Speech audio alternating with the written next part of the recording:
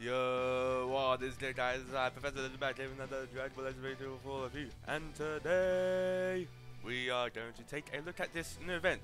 It's quite big news, big, big, big, big news. So, so it says preview Hangzai Kakarot, your number one. Another event where you can get LF Super Saiyan 3 Goku. And again, and once again, it starts on Wednesday.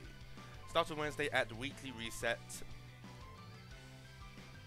so it's kind of like a Rising Battle event. And as it says, the enemy strength gradually increases each battle you win.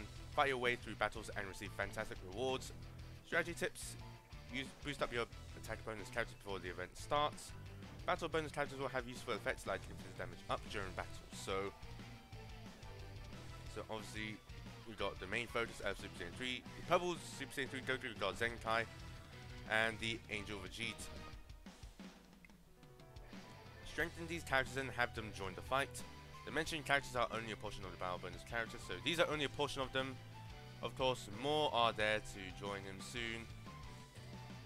Battle bonus characters will change for each stage, so so these guys will not appear as battle bonus characters for every stage.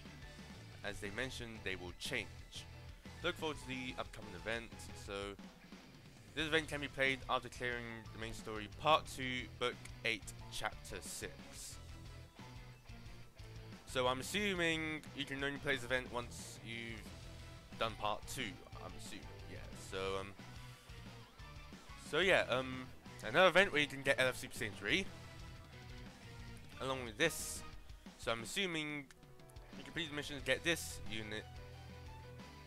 So I'm assuming you complete the missions, get Super Saiyan 3 Goku, and then once that's done you can use this event and you can pretty much clear these. Pretty much soul boost him. Pretty much soul boost him. Play through the stage. Yeah. Now as always his stats are not really that good. His his kit and stats are overall, overall mediocre. His buffs are pretty much time dated. So yeah, um, there's a, so yeah, we're getting closer and closer and there's a higher and higher chance of him getting a Zenkai Awakening.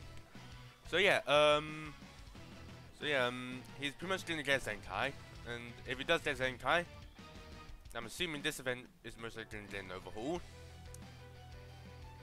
Yeah, his, his event's most likely gonna, going to get an overhaul, along with LF Super Saiyan 3 Goku's unique equipment that's going to be awakened. So yeah, um, so yeah, this is unique equipment. Now, his unique equipment is actually quite good, so it's quite essential for him to have. It's kind of, it's a must-have for him. So, so yeah, um, so yeah, um, what I'm thinking is that LF Super Saiyan 3 Goku is going to get a Zenkai. Once he gets a Zenkai, his unique equipment is most likely to be awakened. There's going to be a memory, and he's going to have an awakened form as well. So yeah, um, so yeah, his his equipment is most likely going to become unique, and it's going to it's pretty much going to get it's pretty much going to get awakened, and it's going pretty much going to boost LF Super 3 So yeah. So yeah, um